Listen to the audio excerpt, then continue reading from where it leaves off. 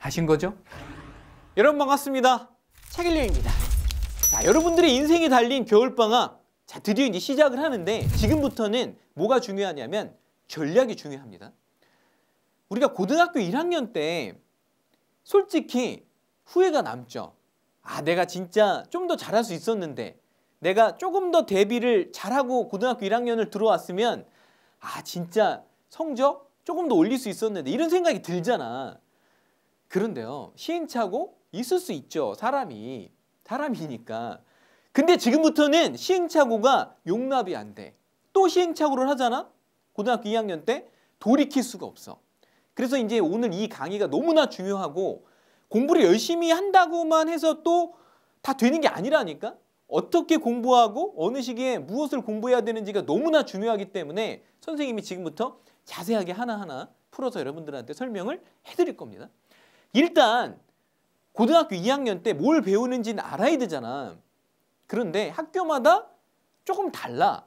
그런데 기본적으로는 수학 1을 1학기 때 배우고 수학 2를 2학기 때 배우는 학교가 가장 많다는 거야. 그런데 꼭 오늘 아주 그냥 핵심 포인트 중에 하나인데 반드시 학교에 전화해서 그죠?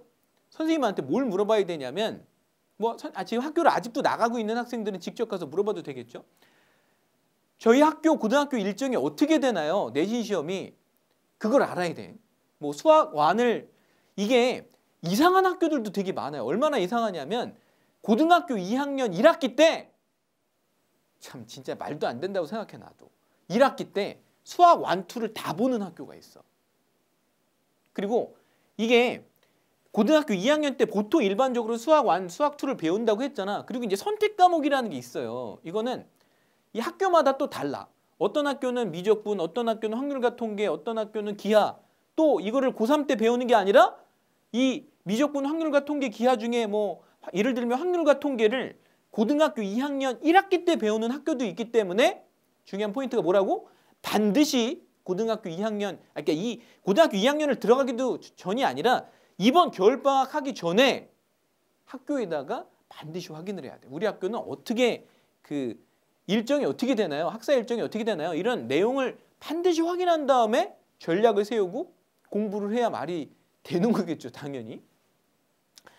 자, 일단 수학 1하고 수학 2를 고등학교 2학년 때 배웠는데 이게 어느 정도 양인지를 선생님이 설명해 줄게. 그냥 여러분들이 이해하기 좋게 선생님 인터넷 강의 기준으로 설명을 해주면 수학 1이 44강이야. 수학 2가 57강이야.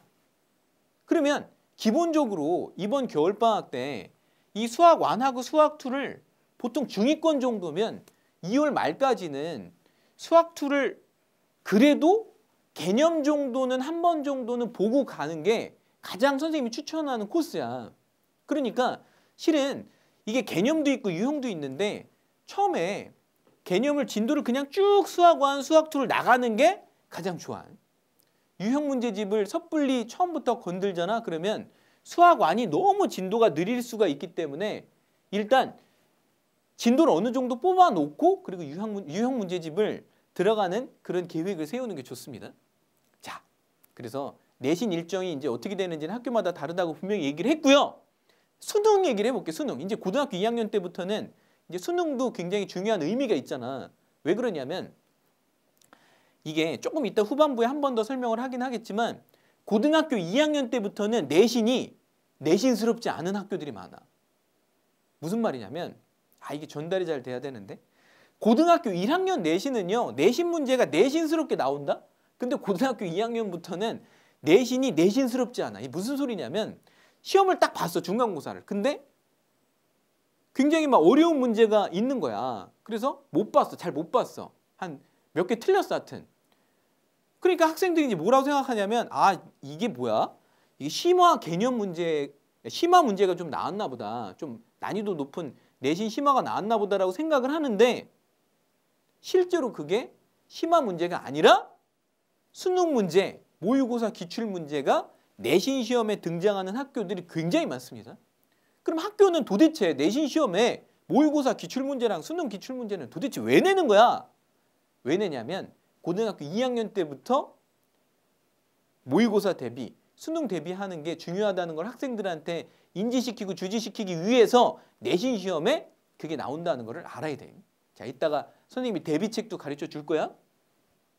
자, 그래서 이제 고등학교 2학년으로 올라가면서 수능에 대한 생각, 모의고사에 대한 생각을 기본적으로 깔고 가야 되기 때문에 그러면 수능은 이제 어떻게 보느냐? 이 정도 이제 알아야 되잖아 우리가. 수능을 어떻게 보냐, 보냐면 대한민국에 있는 모든 고등학생은 기본적으로는 수학 1이랑 수학 2는 다 본다고 생각해야 돼. 필수. 여기 써 있잖아. 공통. 음, 누구나 보는 거야. 자 그리고 이 뒤에 선택이라고 써 있는 거 있지? 미적분 확률과 통계 기하 중에 하나를 선택해서 수능 시험을 보게 됩니다 그래서 니네 수능이 몇 문제니? 30문제죠 이 30문제 중에서 수학 1이 11문제 나와 수학 2가 11문제 나와 그리고 선택 과목, 미적 확률과 통계 기하 중에 내가 하나를 선택한다 그랬잖아. 거기서 몇 문제가 나오냐면 여덟 문제가 나온다고. 이렇게 30문제가 구성이 돼 있어. 자, 그리고 일단 수학 1이랑 수학 2를 여러분들이 공부할 때 이게 여러분들이 고등학교 1학년 때 공부했던 수학 상하고 수학 하보다 몇 배 정도 어렵다고 생각하면 되냐면 한세배 정도 어렵다고 생각하면 돼, 그냥. 수학 1에 지수함수와 로그함수 뭐, 뭐 넘어갔어. 근데 삼각함수에서 실제로 많은 학생들이 아 이거 안 되겠다 이거 수학을 진짜 포기해야 되나? 라고 심각하게 여기서부터 고민하는 학생들이 되게 많다는 거 알았으면 좋겠고 일단 어렵다는 거야. 그죠? 수학 상하에 비해서 훨씬 깊다. 그리고 양도 많다. 어, 굉장히 이게 뭐 지금 선생님이 아까 인터넷 강의 기준으로 수, 뭐 그냥 한강 그랬지만 수학 상하에 나오는 한강이랑 이 한강은 내용 자체가 달려, 달라. 굉장히 이제 많은 시간이 걸립니다. 이해하는데 난이도가 높기 때문에 자 2월 말까지 이제 우리한테 남은 시간이 이제 얼마나 있는지를 계산을 해봐야 되는데 왜 그러냐면 내가 만약에 수학 1이랑 수학 2를 2월 말까지 끝내고 싶어 그게 쉽, 쉬운 전략일 것 같습니까? 대단히 어렵습니다. 왜냐하면 선생님 강의 기준으로 101강이라고 해서 101강 그러면 내가, 내가 하루에 한 강을 마스터한다고 봤을 때 101일이 걸린다는 거잖아. 101일. 101일. 그죠?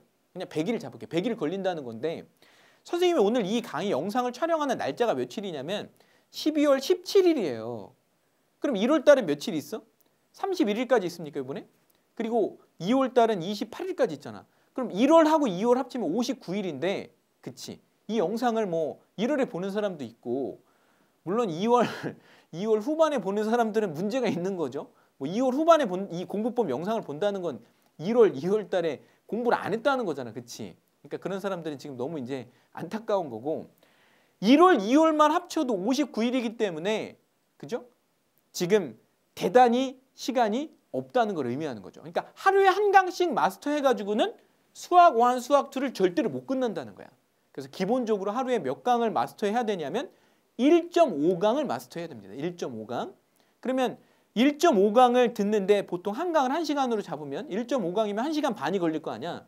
그러면 아무리 못해도 내가 혼자서 그걸 익히는 시간이 1시간 반은 걸려. 1시간 반을 수업을 들으면 아무리 못해도 1시간 반은 최소야 최소. 어, 진짜 빠른 애들, 이해도가 빠른 애들 1시간 반 걸리기 때문에 합치면 3시간. 최소 3시간을 하루에 공부해야 된다는 거야. 선생님 하루에 수학을 3시간을 어떻게 해요? 이런 학생들도 있겠죠. 이 영상을 보면서. 근데 확실하게 선생님이 얘기해 줄 수 있는 건 뭐냐면 하루에 꾸준히 1시간을 공부한다. 수학 잘할 생각은 꿈깨. 절대로 잘할 수 없어요. 그죠? 하루에 2시간을 한다? 대단히 부족합니다. 하루에 3시간을 한다? 그냥 평균이라고 생각하면 돼. 평균. 그러니까 상위권이다. 4시간은 해야 돼. 4시간. 그죠? 그거를 안 하면 그냥 학기 시작하잖아. 그냥 그냥 그냥 쓰러지는 거야. 뭐 버틸 수가 없어. 처음에 이제 막 버벅버벅 버티다가 조금 지나잖아. 그러면 버틸 수가 물리적인 시간의 벽을 넘을 수가 없어요. 니네가 학기 중에. 그죠? 어, 뭐 하루에 뭐 한시간잘 거야? 두시간잘 거야? 안 된다니까. 그리고 수학 성적이라는 거는 방학 때 올라가는 거야. 그리고 니네 경험해 봤잖아. 작년에. 중3에서 고등학교 1학년 올라올 때 겨울방학 때 공부를 안 해놓은 사람들은 얼마나 고등학교 1학년 때 고생을 했어. 그죠? 지금 공부를 겨울방학 때 안 한다. 어, 버틸 수가 없습니다. 자, 2월 말까지 우리한테 남은 시간 이제 선생님이 얘기를 해줬어. 니네들이 이제 날짜 계산 잘 해보면 하루에 이제 어떻게 공부를 해야 되는지가 견적이 딱 나올 거고요. 그 다음에 수능, 수능 볼 때까지 이제 우리한테 남은 시간도 계산을 해봐야 되는데 한번 봅시다. 지금 이제 선생님이 12월 17일 날 강의 지금 영상을 찍고 있는데 일단 12월 빼고. 왜냐면 실은 뭐 크리스마스도 있고 연말도 있고 신정 뭐 구정까지 보면 뭐 이렇게 저렇게 연휴가 있기 때문에 그냥 12월 날리고 그냥 1월 1일이라고 생각하고서 이제 우리가 생각을 해보면 봐봐. 고등학교 2학년 때 12달이 있고요. 고등학교 3학년 11월 달에 이제 수능을 본다고 하면 이제 몇 개월이 있습니까? 22개월이 있는 거지 12개월 10개월 근데 22개월 동안 우리가 경험해 봤잖아 그치 내신 시험을 몇 번 보냐면 고2 때 네 번 보고 고3 때는 수능 전에 몇 번을 보냐면 세 번을 봐 그럼 이제 수능 시험을 이제 수능이 아니라 내신 시험을 일곱 번 보죠 그럼 내신 시험 일곱 번 보면 한 번 내신 시험 대비하는데 보통 한 달은 날라가잖아. 그치? 그럼 일단 일곱 달은 날라간다고. 그리고 고등학교 3학년 9월 달에 수시 원서 쓰잖아. 그리고 뭐 여러 개 대학 뭐 이것저것 준비하다 보면 한 달이 훅 날라가요. 일반적으로. 왜냐면 대부분 그죠? 수시를 또 쓴단 말이야. 그리고 수시가 중요하고 비중도 높잖아. 그지? 그러니까 몇 개월이 날라간다는 거야? 8개월이 날라간다는 거야. 그럼 니네 생각해 봐. 아까 22에서 8 빼봐 얼마야? 14야 14. 14라는 거는 1년 2개월밖에 안 남았는데 해야 될 양은 진짜 막 산더미처럼 많다고. 그러니까 지금 유혹이 많다고 해서 그거에 넘어가면 그냥 끝나는 거라니까. 음, 넘어가면 안 돼. 그리고 솔직히 요새 코로나 때문에 막 그지 밖에 돌아다니는 것도 힘, 힘들잖아. 나는 집에 있는 게 제일 편하더라. 그죠? 여기 지금 세브랜드도 보면 스탭들 다 마스크 끼고 있어. 여기 지금 여기 보면 막 촬영 스태프부터 연구원들 지금 들어와 있는데 기본적으로 마스크를 끼고 있단 말이야. 그러니까 그냥 힘들게 마스크 끼고 막 그냥 이렇게 막 어디로 막 다니면서 놀지 말고 그냥 차라리 그래 내가 이 시간에 차분히 미래를 위한 나를 위한 준비를 하리라. 그리고 집에서 마스크 벗고 집에서는 마스크 벗잖아, 그지? 그리고 이제 공부를 차라리 하잔 말이야, 수학 공부를. 음. 자, 그래서 시간이 정말 없다는 거. 음. 자 개념은요 마겔롯이 한 것만 파면 돼. 선생님이 자신 있게 얘기하는데 내신 개념이든 수능 개념이든 마겔롯이 한 것만 파면 어떤 개념서도 필요 없습니다. 선생님이 완벽하게 그냥 어, 끝내줄 테니까 그죠? 마겔롯이 한 것만 그냥 파면 돼. 그지? 자 하루에 수학을 몇 시간 공부해야 되나요? 아까 얘기했죠. 최소 3시간. 최소 3시간. 그죠? 그리고 상위권이다. 당연히 4시간 이상 공부를 해야 되고요. 음, 아마 최상위권은 훨씬 그보다 공부를 더 많이 할 거예요. 자, 고등학교 1학년 내신하고 고등학교 내신을 비교해 보면 일단 분량이 달라. 고등학교 1학년 내신이 한 범위가 그죠? 한 양이 한 요 정도다. 그러면 고등학교 2학년 내신은 양이 이만큼이야. 난이도가 고등학교 1학년 내신이 요 정도다. 그러면 고등학교 2학년 내신은 이만큼이야.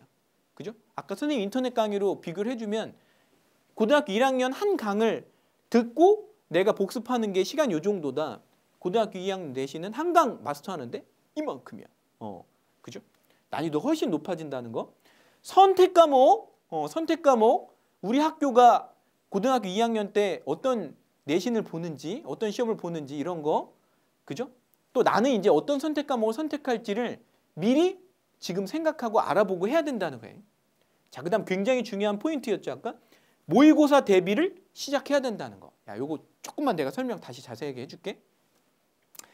우리나라에 있는 수많은 고등학생들이 어, 보통 이제 뭐 기출 문제라고 하죠. 수능 기출 또는 이제 그 고등학교 3학년 때 보는 모의 평가, 교육과정 평가원에서 보는 모의 평가가 이제 6월, 9월 두 개 있거든. 근데 수능은 어디서 출제하냐면 교육과정 평가원에서 출제하고 6월 모의고사, 고3 6월 모의고사, 6월 모의 평가라고 하죠. 이 모의 평가도 6월, 9월 모의 평가도 교육과정 평가원에서 출제를 해. 그러니까 수능이랑 출제 기관이 같기 때문에 이 모의 평가랑 그리고 그 수능이랑 출제 기간이 같기 때문에 이제 이 굉장히 중요하게 생각한다고 기출 문제를. 그런데 그런데 선생님이 얘기하고자 하는 핵심이 뭐냐면 이 기출 문제 분석을 우리나라에 있는 대부분의 학생들이 언제 시작하냐면 고등학교 3학년 3월 또는 2월 이렇게 시작하는 학생들이 대부분이야. 그래서 망하는 거야. 왜 그러냐면 크게 두 가지 포인트가 있는데 야 진짜 좋은 거 배운다 니네. 첫 번째는 아까 내가 하나 미리 예고했지. 고등학교 2학년 내신에도 이 모의고사 기출문제를 내는 학교들이 굉장히 많기 때문에 내신 시험을 위해서라도 이 모의고사나 수능의 기출문제를 지금부터 분석을 들어가는 게 맞다. 그리고 두 번째, 예를 들어서 아까 우리가 수완에 봐봐. 수완을 처음 보면 지수함수와 로그함수를 배워. 그럼 니네 지수함수와 로그함수에서 도대체 가장 중요한 게 뭐야? 삼각함수를 배워. 그럼 삼각함수에서 가장 중요한 게 뭐야? 그럼 니네가 어떤 표준을 가지고 이게 중요하다고 생각을 할 거야?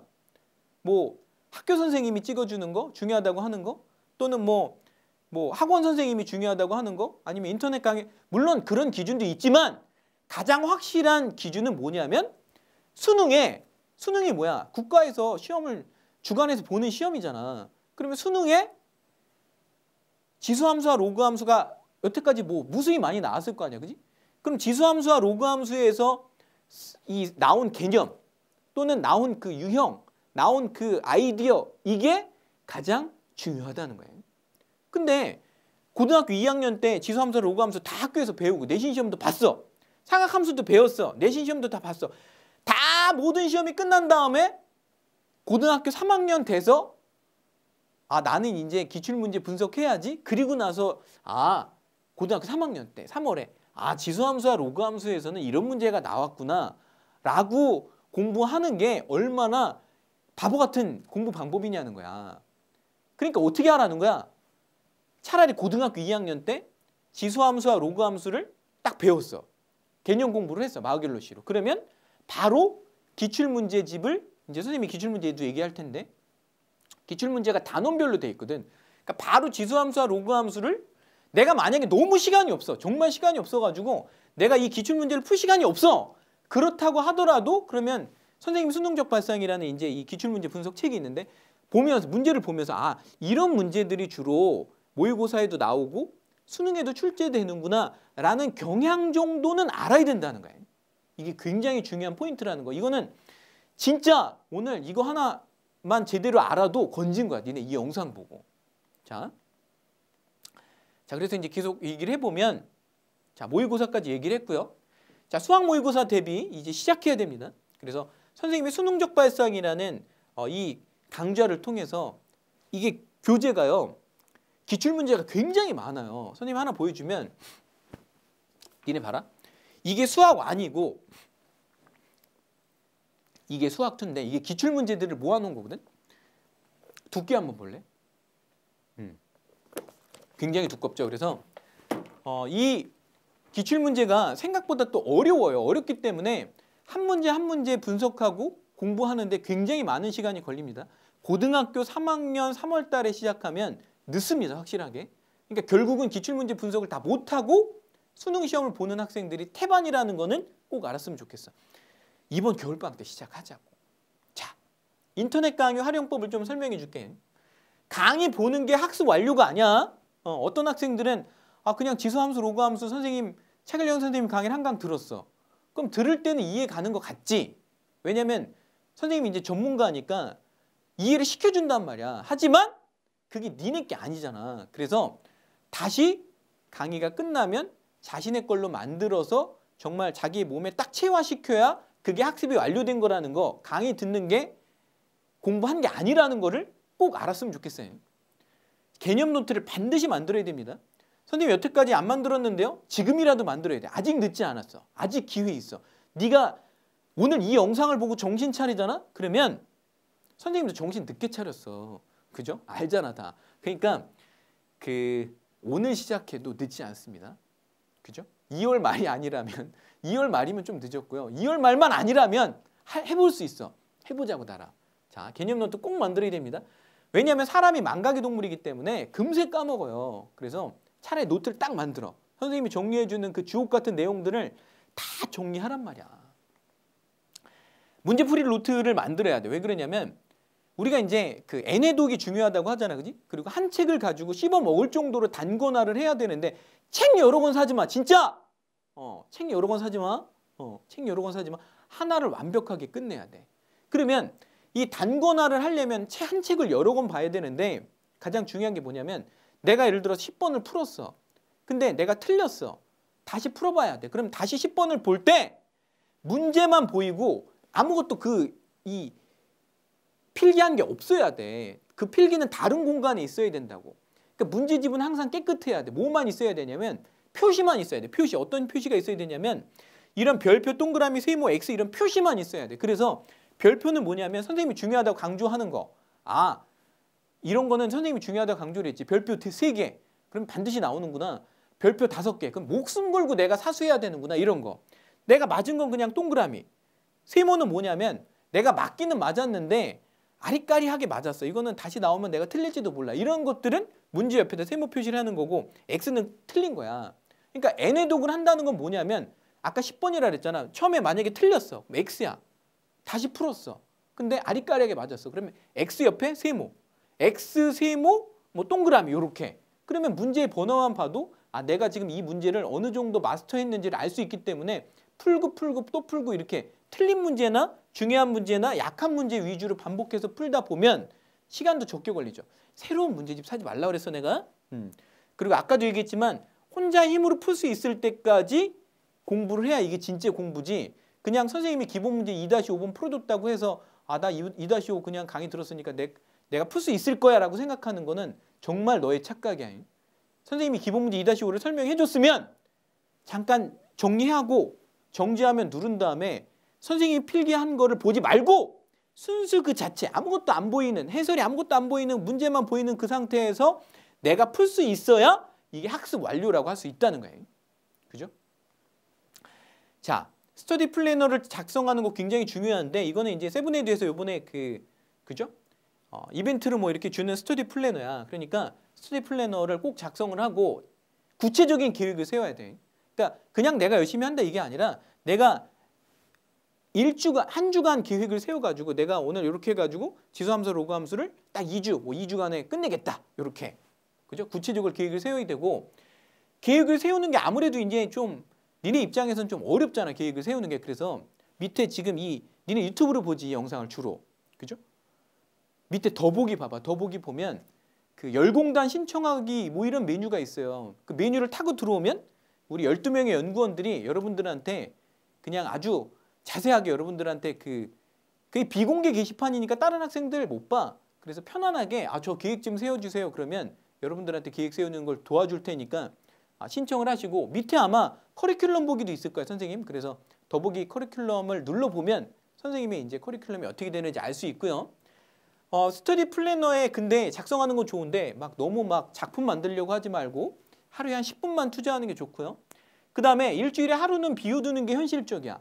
월화수목금토일 막 이렇게 어, 계획을 세우면 다 이게 실패할 가능성이 높기 때문에 차라리 뭐 어느 요일을 하나 비워놓고 그 다음에 나머지 6일 동안 세운 계획이, 계획이 미진하거나 부진한 거를 그날 채우는 게 좀 현실적이긴 하고요. 자기가 그날 그날 어, 목표를 달성했는지 피드백을 작성하는 거 대단히 중요합니다.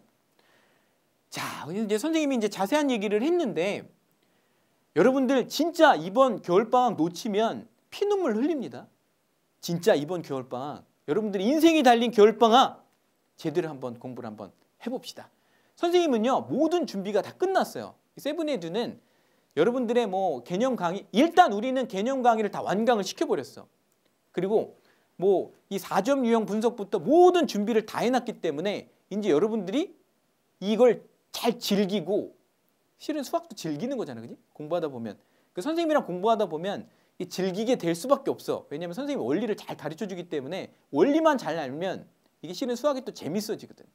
그리고 선생님 한 번만 더 얘기를 하면 뭐 다른 강좌에서도 얘기했지만 선생님 뭐 강의를 처음 듣는 사람들이 있을 테니까 선생님 강의 듣고 대학에 진학한 인터넷 수강생이 한 50만 명 정도 됩니다.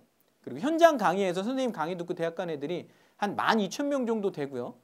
그리고 한 200명 정도 되는 그 학생들이 서울대 합격했다고 세븐에듀에 찾아와 가지고 세븐에듀 오면 다 동영상 후기 같은 거 있잖아요. 그지? 자기 동영상 후기도 올려줬는데 선생님이 정말 보람이 있는 건 뭐냐면 정말 그냥 중위권이나 이렇게 평범한 학생들이 선생님 강의 듣고 성적이 오르고 오르고 오르고 올라서 자기가 원하는 대학 정말 평소에 진짜 정말 꿈만 꿨던 그런 대학을 정말 가서 합격해서 나중에 찾아오기도 하고 합격 후기 쓸려면 찾아왔을 거 아니야, 그지? 선생님이랑 와서 밥도 먹고 이러면서 아 진짜 선생님 덕분에 수학을 하나 잡으니까 다른 과목도 잡히고 정말 진짜 제가 선생님 덕분에 수학 잘할 수 있었어요. 뭐 내신도 수능도 잘할 수 있었어요. 이런 얘기를 들으면 너무 보람차.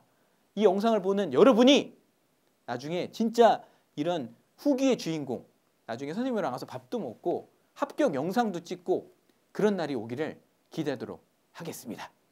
여러분 준비되셨습니까? 저희는 모든 준비가 다 끝났습니다.